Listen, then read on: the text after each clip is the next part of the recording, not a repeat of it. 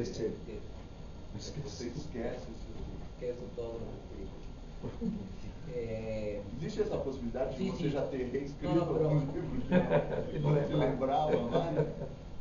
Sí, olvido, olvido los libros y, y, se me confunden también, ¿no? Y sobre todo ahora cuando tú mencionaste esto de, de que publico en pequeñas editoriales cartoneras, etcétera, ¿no?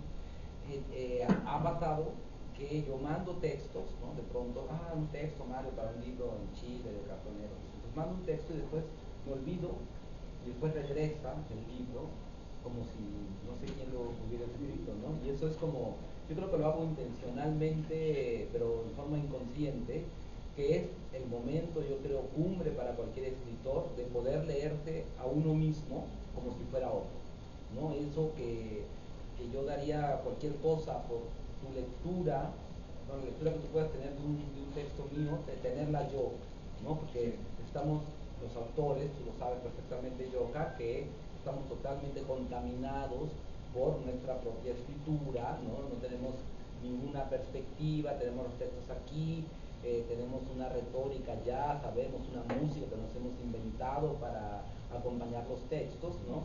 Y entonces a veces cuando me regresa ese, ese texto es como un gran regalo, es decir, un regalo, porque puedo leer como si fuera otro y pues ahí soy totalmente cruel, ¿no? Con mi, con mi pluma, ¿no? Y empiezo a destruir totalmente el texto y después de esa destrucción aparece otro texto, ¿no? que ya es diferente, entonces lo vuelvo a mandar a otra editorial, entonces al final se hace como una confusión de no, ya no sé qué cosa es qué.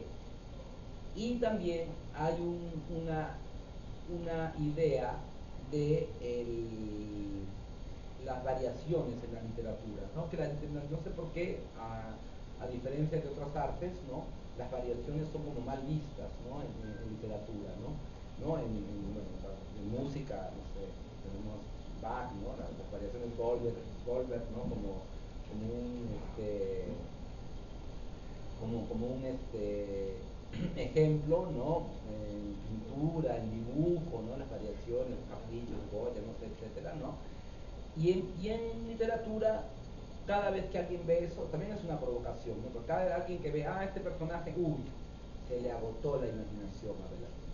Belatín ya no puede pensar más y ahora tiene que copiarse a sí mismo y volver a contar, está acabado. ¿no? Y, y, claro, lo que no sabe el lector es que yo quiero estar acabado, quiero que, que, ya no tener más historias que contar, ¿no? Pero a veces eh, y eso pasó mucho en, en, Flores cuando se construyó, por ejemplo, eran textos que tenían distintos orígenes, eh, venían, provenían de distintas, eh, con distintas intenciones, y fue que, que, te conté ¿no? que había ido a una, me había invitado a una residencia de escritores, y yo llevé en una caja los papeles, todas, todas estas hojas sueltas de diferentes tiempos, de diferentes escrituras, ¿no? Y lo que hice durante esos meses que estuve en esta residencia fue descubrir cuáles eran las reglas de juego de esas escrituras, que aparentemente eran tan eh, disímiles, pero tenían un elemento en común, que era que yo las había escrito. Entonces yo tenía que descubrir allí cuál era mi manera, mi forma de escritura, ¿no? que iba a ser posible una vez que descubriera esa clave, hacer un cuerpo concreto como es el libro Flores. Que entonces fue cuando después de haberlo escrito fue que eh, creé la estructura, creé la historia, creé la historia de las flores, creé todos todo los, los elementos que supuestamente se piensan que deben estar antes de hacer la obra. ¿no? Todo fue construido después. Ahora quiero hacer un experimento, que es un experimento al futuro, que para, también para que me regrese una escritura personal, pero con eh, la mediación de otras personas y ver cuál es el impacto que me causo yo, porque yo no sé, no puedo ver, por eso uno va al psicoanálisis, ¿no? porque no se puede ver a sí mismo. ¿no? Este, que es, va a ser en Galimar, en, en 2011, yo voy a publicar una, un libro por primera vez antes que en español, en francés. ¿no? O sea, todos mis libros, aparte de dos que, que aparecen en el piano, van a ser los últimos que van a aparecer en español. que, o idioma que no me interesa, como ya habíamos hablado hace un tiempo, ¿no? Este, aparecen en francés por primera vez y después se traduce al español. O sea, no, no, cuando haya la, haya la versión español, en español, no va a ser la que yo tengo, la que yo mandé para traducir, sino va a haber un traductor que va a pasarlo de nuevo al español. Y después me va a venir a mí así, entonces yo ya voy a ver como una especie de destilación del texto, ¿no?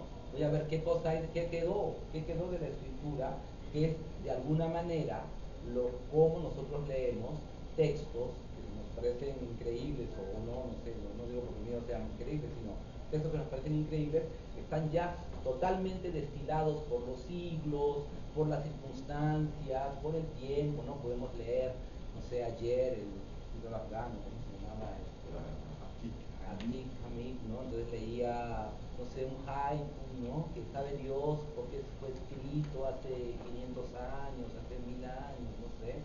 Y de pronto sigue existiendo, ¿no? A pesar de todas esas variaciones. Entonces yo quiero saber qué cosa es lo que queda después, así como como en mi trabajo personal, quiero saber qué queda después de la destrucción, del derrumbe, qué queda después de esa destilación de idiomas, ¿no? de cuando se fue al francés, cuando regresó al español, y de pronto yo recibí el texto de un tal señor Mario Velatín, que no sé ni quién es, y, ver otra vez tomar el, golpe de ojo. Puede ser una más sorpresa, ¿eh? Resultado. Sí, pero ahí estoy yo para corregirlo. claro, lo voy a recibir antes de que te publique. Yo, yo acompañé